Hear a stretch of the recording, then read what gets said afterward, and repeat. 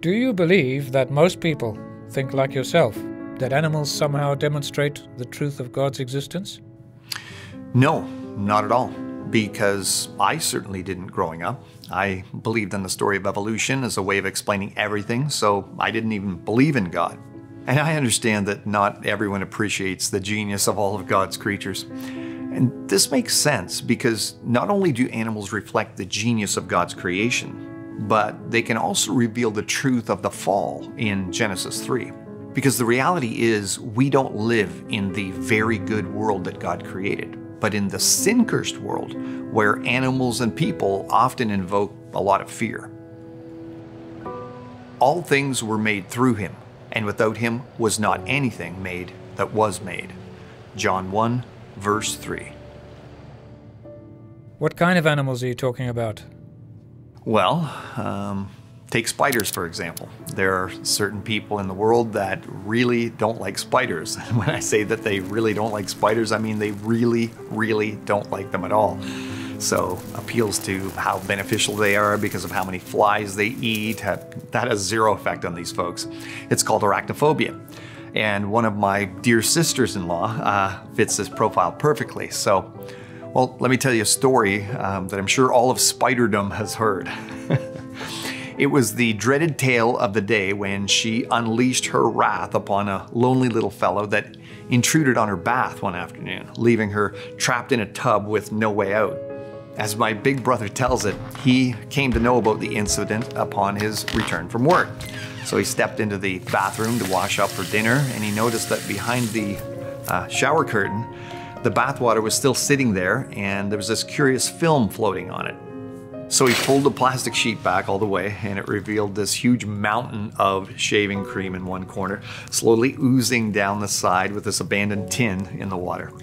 And buried deep somewhere within that eight ounces of Barbasol lay the sorry remains of an embalmed arachnid that never knew what hit him.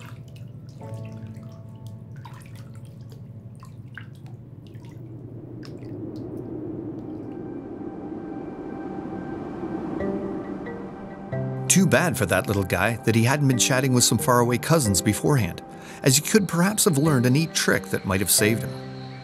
In 2012, unbeknownst to each other at the time, two US biologists discovered two different species of spiders with truly amazing behavior and abilities. One was located in Peru in the Amazon basin, and the other 11,000 miles away in the Philippines. To add to their astonishment, the researchers soon realized that not only did these spiders construct colossal decoy clones, but they purposefully and personally animated them as well.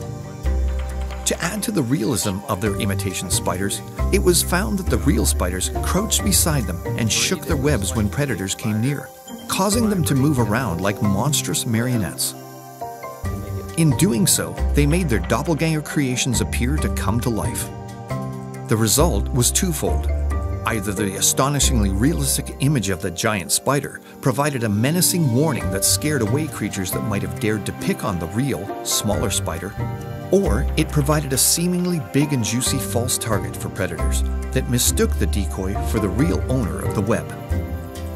Would be attackers either fled from Big Brother or wound up with a mouthful of mossy mulch for their efforts. Not only is this behavior fascinatingly complex, but it's unprecedented in the animal kingdom. To my knowledge, we have no other example of creatures creating decoys of themselves to escape predation. How on earth could a simple spider contain the capacity to carry this out?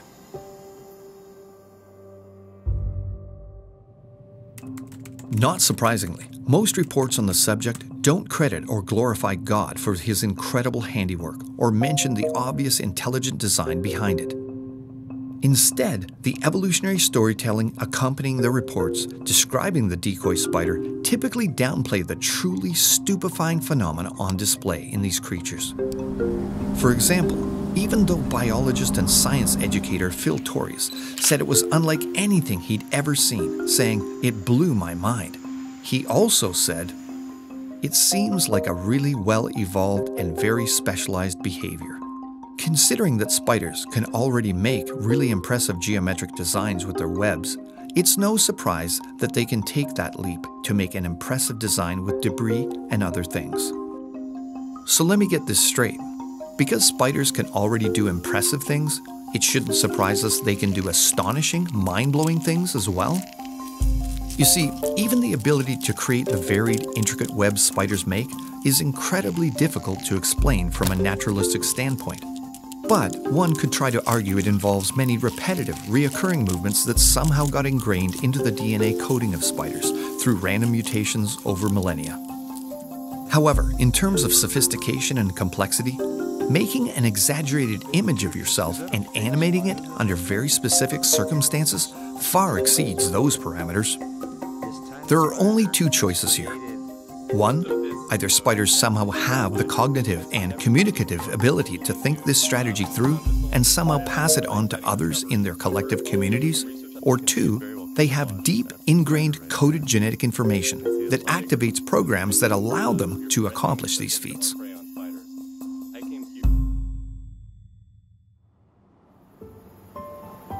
We must understand that if option one is correct and that these spiders have thought this through, then they are deliberately manipulating the world around them to a level that only human beings have ever been observed doing. In order to create a decoy of itself, it would have to be self aware and know it's a spider in relation to other things, and be able to discern the difference between itself and other spiders. It would also have to recognize that a duplicate of itself, which looked like a spider but actually wasn't, might somehow protect it from predators it may encounter in the future and so would have to have an understanding of time and potential events. It would have to understand that making a larger, moving spider would be somehow better for scaring predators or to be a decoy, and know to manipulate the dummy when predators were near. Like a farmer setting up a scarecrow, it would have to reason about past experiences to make conclusions about the future by using information in the present, all to best look after its own interests. In effect, it would be thinking in the same way you or I do, which is why most scientists deny this option. As one researcher put it, when it was first reported in late 2012, the story received a fair amount of attention because of the romanticized idea behind it that people are thinking these spiders are so clever that they're building these structures that look like larger spiders. But it's not like these spiders are looking at another spider and designing it based on that. This design is just what has been selected for. In that way, it's ingrained into their DNA, and which translates into their behavior, he says. Spiders that have these more spider like looking decoys are more successful than those who don't.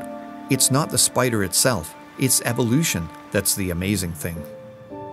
The spiders are dummies, but at the same time, they are smart enough to make the decision to know what should and what shouldn't go into that structure. Do you see the problem with the evolutionary musings here?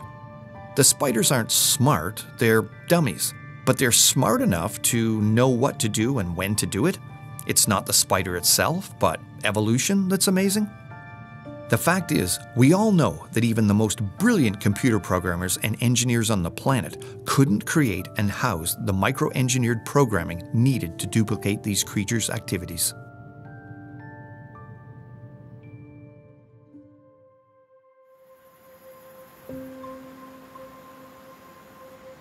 When you break it down, what evolutionists are arguing for is that purely naturalistic forces have generated incredibly complex programming in diminutive, primitive spiders that equal the decision making ability of human beings. All with a simplistic explanation that some random spiders that supposedly made more spider looking clumps of trash in their webs somehow survived better. Ignoring the fact that other spiders survive just fine without those abilities, so why would they need them to evolve them to survive?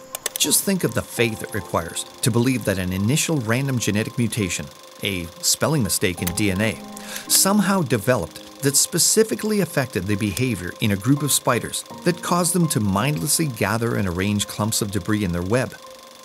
That's one of the reasons spiders abandon webs and make new ones, as it causes them to fall apart more quickly. Even if we put aside other questions, like how these mutations somehow got activated and integrated into their behavioral programming, for the moment, why would we believe more mutations would cause them to arrange bits of debris more specifically like the multiple legs, head, and thorax of a spider? Why wouldn't shapes like a predatory bird, snake, or lizard prove more effective and be selected? Remember that all the while this supposedly happened, the spiders are not cognitively aware that they're doing any of this. It's all just instinct, like breathing or blinking, etc. But this would eventually also somehow require mutations that cause them to shake their web as well as the programming to only do it when predators are nearby, which requires if A, then B type programming. In the end, evolutionary ideas like this are not science, they're simply storytelling. No one saw it happen, you can't perform an experiment to duplicate it, and there are absolutely no similar examples in nature of a comparable thing happening. And yet, the idea of God creating is mocked more than anything else in academia today. However, belief in the Almighty, all powerful God of Scripture is so much more intellectually, spiritually, philosophically, and scientifically sound than any compromise with evolutionary musings could ever be. Why on earth should we believe incredible abilities, such as the spider decoy demonstrates, could have developed by chance?